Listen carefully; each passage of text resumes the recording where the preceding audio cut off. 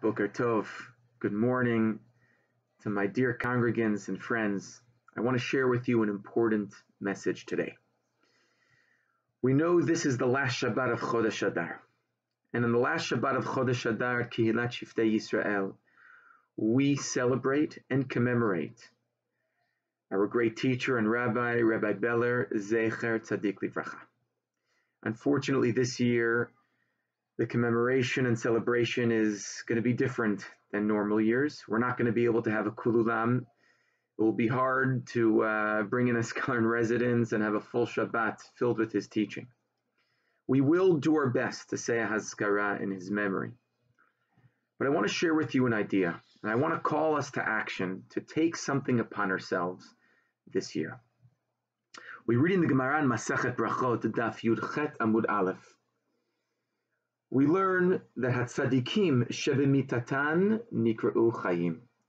Righteous people, even in their death, are still considered Chayim, they're still alive. In contrast, on the opposite, we learn Rishaim Shebechayehen, Kru'in Meitim, wicked people, even in their life, are considered dead.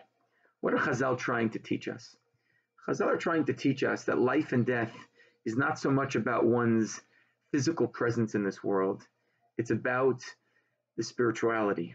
It's about the good deeds. It's about what a person brings to the world. So even someone in death has the ability to still impact us, has the ability to still be with us and still be alive.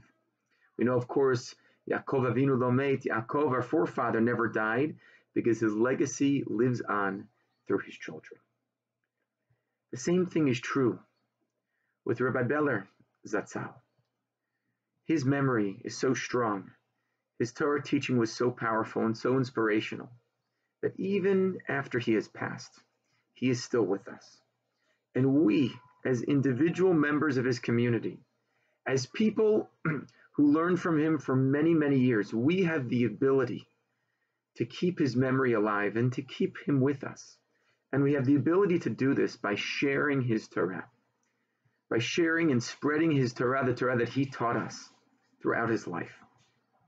So I want to call upon our community to do the following. We're going to have a campaign on Facebook where everybody is going to share a short Torah idea, a short Dvar Torah that you remember learning from Rabbi Beller. It could be two minutes, three minutes, four minutes.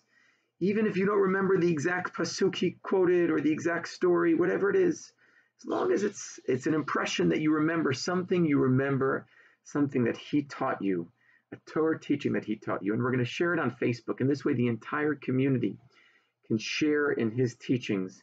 And we can draw upon his life wisdom as we work through this great challenge the great crisis that we're living through this whole coronavirus.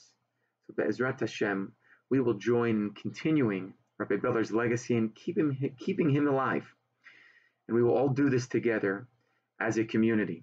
So I'm going to ask everyone, post your, uh, your ideas on Facebook.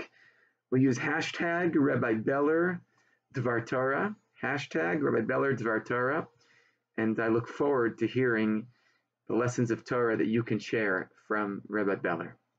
Wishing you a great day.